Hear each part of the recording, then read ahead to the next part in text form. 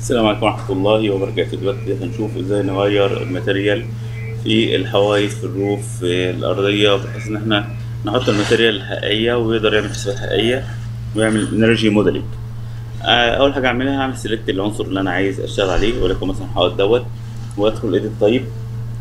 بلاقي هو بدأ يعمل حسابات هنا analytical properties زي ال heat transfer اللي هو ال U وال thermal اللي هو ال R ال thermal mass هو بدأ يعمل حسابات.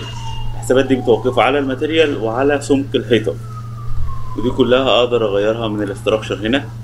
ده هنا الحوايط ده ال finish اللي بره وده ال core ال structure وده ال finish.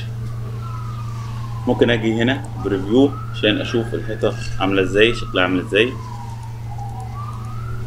ممكن أقول له أنا عايز أشوفها بالشكل دوت.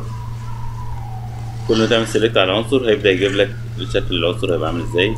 المكان بتاعه أنا واحد فيهم اللي أنت عامل عليه select تقدر تضيف أي حاجة أنت عايزها. تقدر تضيف مثلا هنا مثلا finish وتبدأ تديله ال material اللي أنت عايزها وتديله thickness طيب لو جيت هنا مثلا على ال finish دوت وعايز أغير ال material بتاعته خلي بالك إن ال R وال thermal mass أهوت هتلاقي الأرقام بتاعهم هتغير لما إحنا نغير في الخصائص.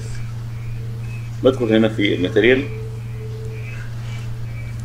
بلاقي عندي هنا ال thermal في بعض ال material ممكن ما تلاقيش فيها thermal فتدوس على علامة الزائد ديت وتختار thermal وتقدر تختار أقرب عنصر ليه وتعدل عليه. يعني اخترت مثلا العنصر دوت في ال thermal ده تقدر تعدل فيه. طيب خلينا نختار مثلا نفس ال material اللي كانت موجودة اللي هي ديت.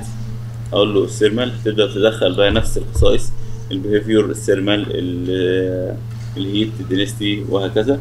تدخل المعلومات دي مظبوطة. لو انت غيرت ال material معنى كده ان كل المعلومات دي اتغيرت؟ تمام؟ فانت لازم تكون متأكد منها وكاتبها مظبوط. وده للخصائص ال physical. وهنا ده appearance و graphics مش هيأثر معايا في الشغل بتاعي. وده ال ID بتاعي.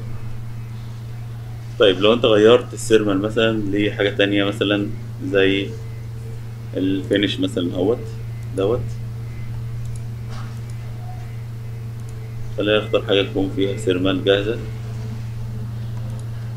اهي معنى إن أنت اخترت المعلومات واخترت الحاجة المظبوطة إن القيم دي هتتغير معاك والقيم برضو اللي بره هتتغير معاك. فأنت ممكن تعمل محاكاة analysis زي ما هنشوف دلوقتي بأرقام معينة ب material معينة بسمك معين وبعد كده تعملها تاني فهو يقدر يقول لك الفروق بين المرة الأولانية إيه والمرة التانية إيه. okay؟ okay. طيب هاجي بعد كده عند ال analysis أول حاجة لازم أعملها ال location ال location تقدر تغيرها من أكتر مكان بس حاططها هنا لأهميتها في الموضوع بتاعنا.